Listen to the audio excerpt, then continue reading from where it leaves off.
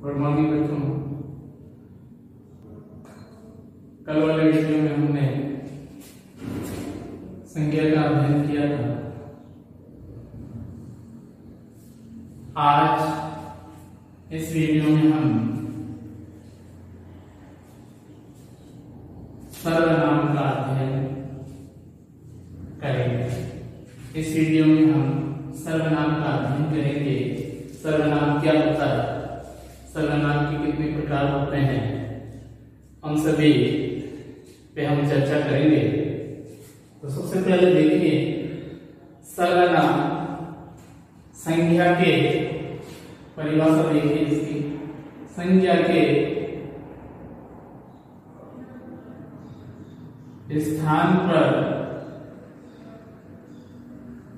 संज्ञा के स्थान पर काम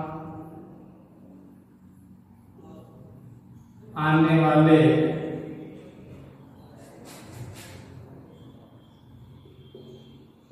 शब्दों को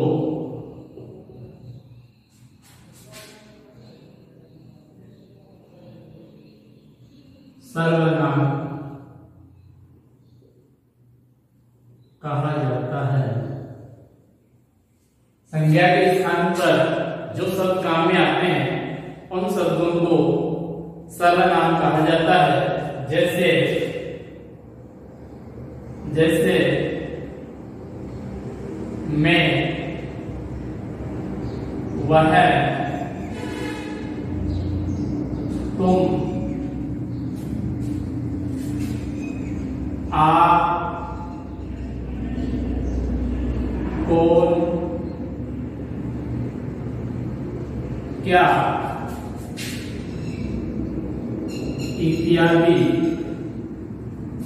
जो शब्द संज्ञा के स्थान पर काम में लिए जाते हैं, उन शब्दों को हिंदी भाषा में सर्वनाम के नाम से जाना जाता है। सर्वनाम।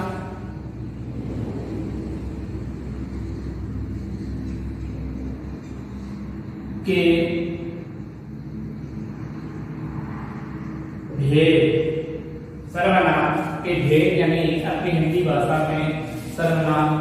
प्रकार के होते हैं। हिंदी भाषा में सर्वनाम के छह भेद होते हैं। हिंदी भाषा में सर्वनाम के छह भेद माने जाते हैं। अपनी हिंदी में सर्वनाम के कितने भेद माने जाते हैं? छह भेद माने जाते हैं। पहला है। पुरुषवाचक।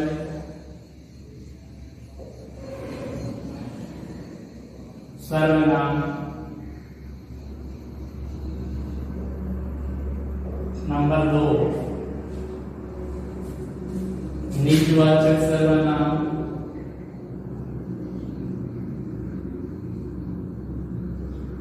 नंबर तीन प्रसन्नवाचक सर्वनाम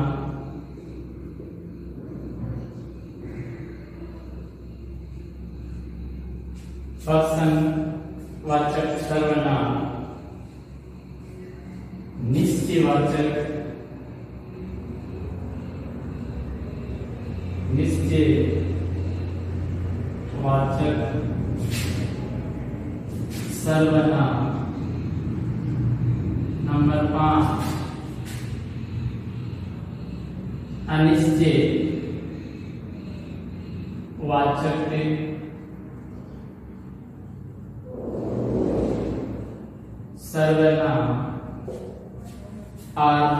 छह है। संबंध वाचक संबंध वाचक इस प्रकार से अपनी हिंदी भाषा में सर्वनाम के छह भेद होते हैं। पहला निज, सॉरी। पुरुषवाचक सर्वनाम, दूसरा निजवाचक सर्वनाम, तीसरा प्रसन्नवाचक सर्वनाम, चौथा निश्चयवाचक सर्वनाम, पांचवा अनिश्चयवाचक सर्वनाम और छठा है अपने संबंधवाचक सर्वनाम। अब हम सभी इन सब का एक एक का अध्ययन करते हैं कि पुरुषवाचक सर्वनाम क्या होता है। निश्चयवाचक सर्वनाम क्या होता है? अनिश्चयवाचक सर्वनाम क्या होता है? और संबंधवाचक सर्वनाम क्या होता है? इन सभी का हम अलग अलग अध्ययन कर रहे हैं। तो पहला है इसमें पुरुषवाचक सर्वनाम। पहला अपना कौन सा है? पुरुष सर्वनाम पुरुष वाचक सर्वनाम में क्या होता है? जिस सर्वनाम का प्रयोग, जिस परिभाषा देखिए इसकी, जिस सर्वनाम का प्रयोग, किसी पुरुष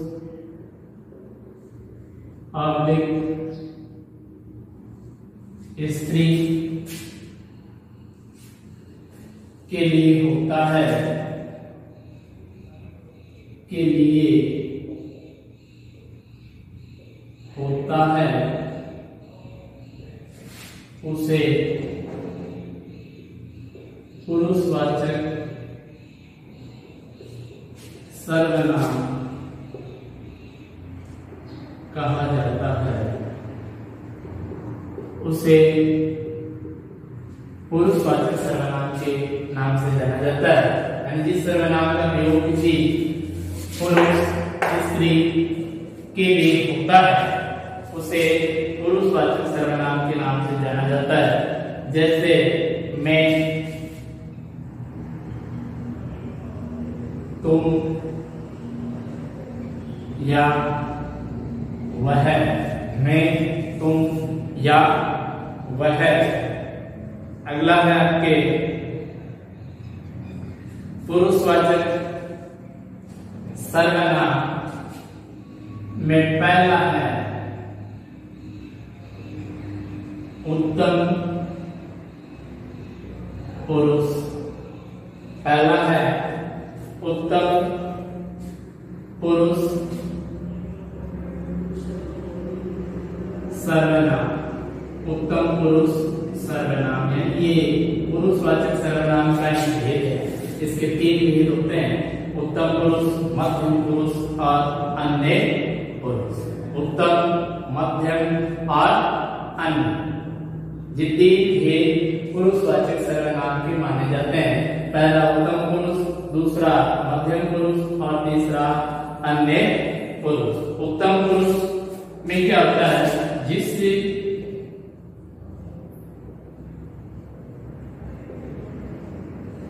सर्वनाम का प्रयोग जिस सर्वनाम का प्रयोग बोलने वाले यानी वक्ता बोलने वाले को क्या कहा जाता है वक्ता बोलने वाले यानी वक्ता के लिए किया जाता है के लिए किया जाता है उसे उत्तम पुरुष पुरुषवाचक सर्वनाम कहा जाता है। उसे उत्तम पुरुष पुरुषवाचक सर्वनाम कहा जाता है वक्ता जब अपने लिए सर्वनाम शब्द का प्रयोग करता है तो उसे उत्तम पुरुषवाचक सर्वनाम कहा जाता है जैसे मैं मेरा हमारा मैं मेरा हम या मुझे इन शब्दों का प्रयोग जो बोलने वाला होता है, जो वक्ता होता है, वो स्वयं अपने लिए करता है। इन शब्दों को क्या कहा जाता है? उत्तम पुरुष वाचक सर्वनाम का भेद माना जाता है। दूसरा है के? मध्यम पुरुष वाचक सर्वनाम मध्यम पुरुषवाचक सर्वनाम मध्यम, पुरुष वाचक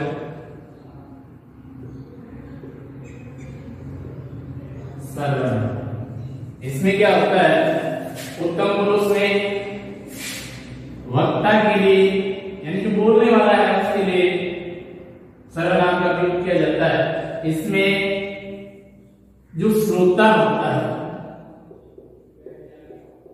श्रोता कहते हैं, सुनने वाले, यानी जब कोई बोलता है तो उसके लिए सुनने वाला ही तो होना चाहिए। जब श्रोता के लिए किसी शब्द का प्रयोग किया जाता है सर्वनाम शब्द का प्रयोग किया जाता है तो उसे क्या कहा जाता है मध्यम पुरुषवाचक सर्वनाम कहा जाता है जिस सर्वनाम का प्रयोग जिस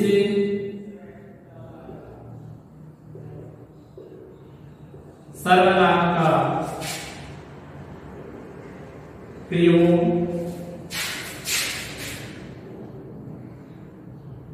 सुनने वाले यानी श्रोताओं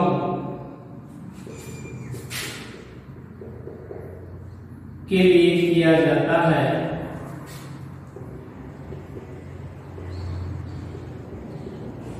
तो उसे मध्यम पुरुषवाचक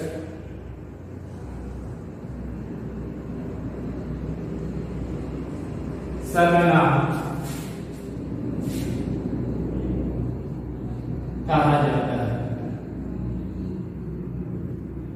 यानी जो सुनने वाला है या सुनने वालों के लिए जिस सर्वनाम शब्द का प्रयोग किया जाता है उससे मध्यम पुरुष वाचक सर्वनाम कहा जाता जैसे तुम, तुम्हारा तुम, तुम्हारा आप,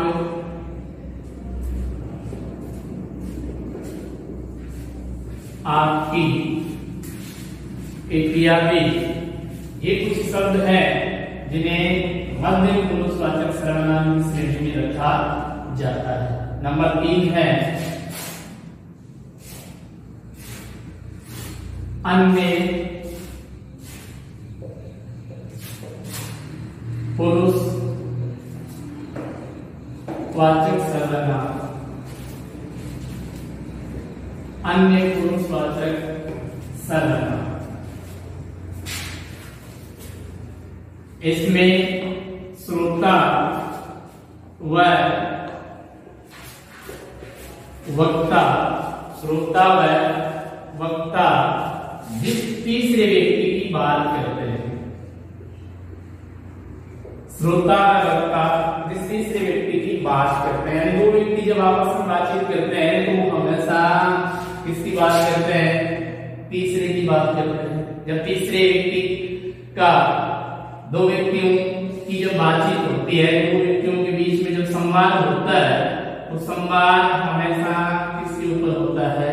तीसरे व्यक्ति पे होता है सब जानते तीसरे व्यक्ति के बिना उनका संवाद शुरू ही नहीं होता है। संवाद कभी भी हो ही नहीं सकता है। दोनों व्यक्ति आपस में एक दूसरे की बात थोड़ी देर के लिए करते हैं, लेकिन वो ज़्यादातर किसकी बातचीत करते हैं, तीसरे व्यक्ति की बातचीत करते हैं और घंटे आधे घंटे तक के जब राम कथा का गुणगान करते हैं, आपस में चर्चा करते हैं और लास्ट में एक शब्द कहते हैं।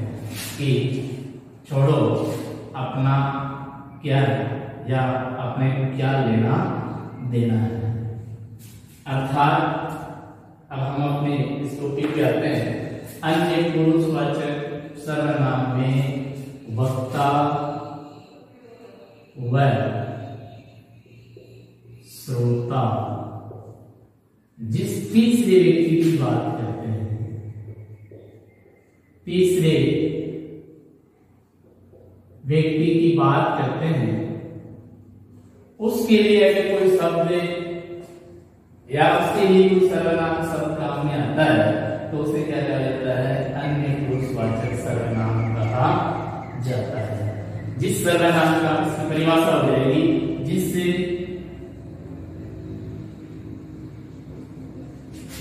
सर्वनाम का प्रयोग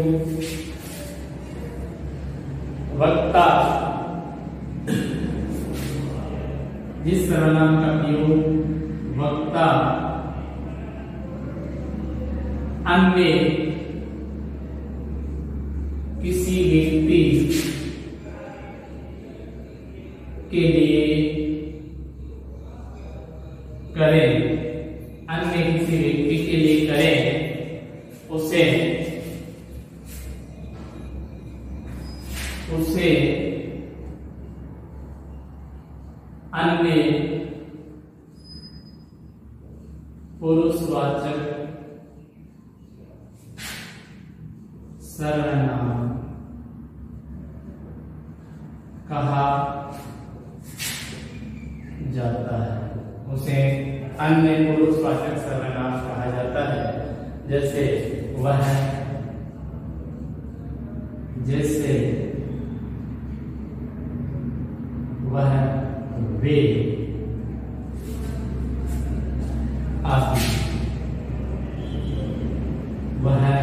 वे आदि। तो कहने का अर्थ वक्ता, श्रोता, जिस तीसरे व्यक्ति के बारे में बातचीत करते हैं, उसके स्थान पर जो शब्द काम में लिया जाता है उसे क्या कहते हैं? अन्य पुरुषवाचक सर्वनाम कहा जाता है। अगला है आपके नंबर दो है।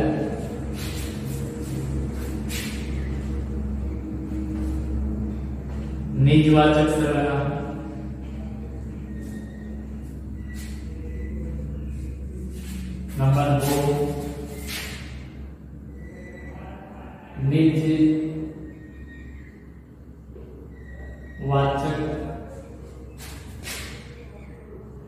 सर्वनाम निज वाचक स्नेह के लिए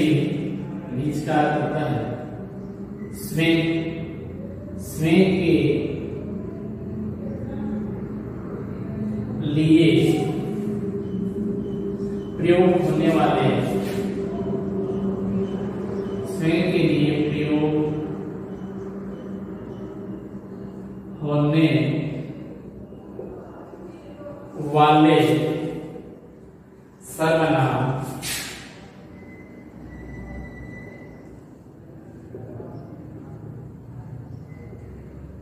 निज वाचक सर्वनाम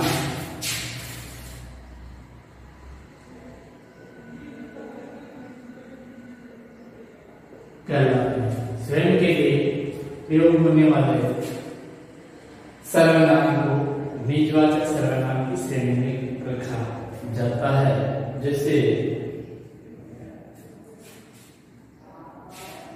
आयुषी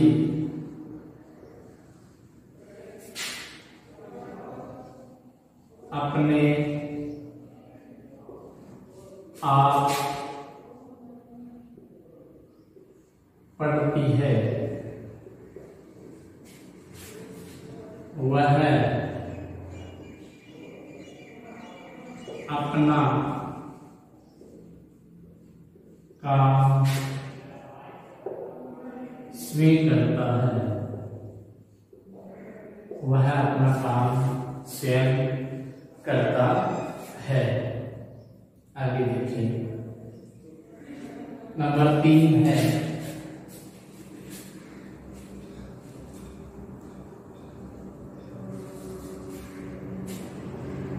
निश्चयवाचक सर्वनाम तीसरा जो भेद है।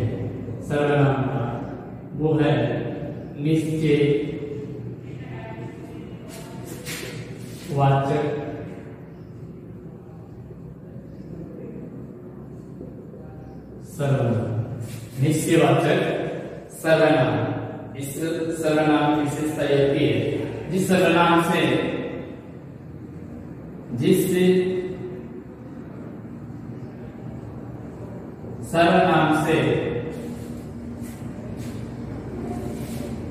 दूर या पास की वस्तु।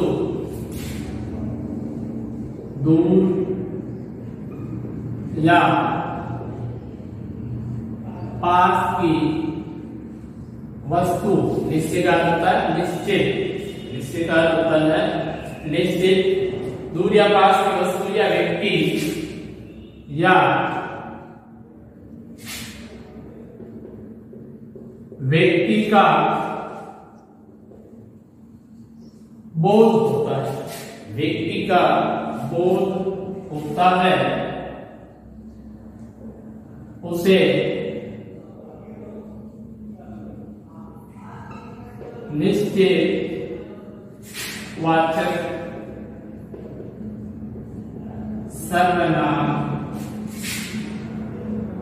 कहा जाता है। यानी इससे दूर या पास की किसी वस्तु या व्यक्ति का बोध होता है, उसे क्या कहते हैं? निश्चयवाचक सर्वनाम कहते हैं। जैसे यह,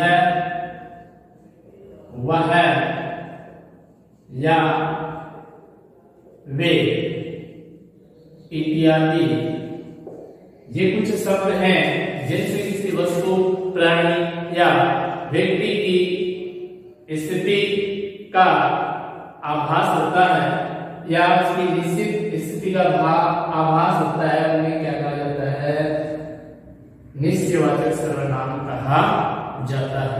धन्यवाद बच्चों, इस वीडियो को आप अच्छी प्रकार से देखना और अपने फेल कॉपी में इसको साथ साथ में होमवर्क के तौर पे करते भी जाना और साथ साथ में इसको याद भी करते जाना। धन्यवाद बच्चों।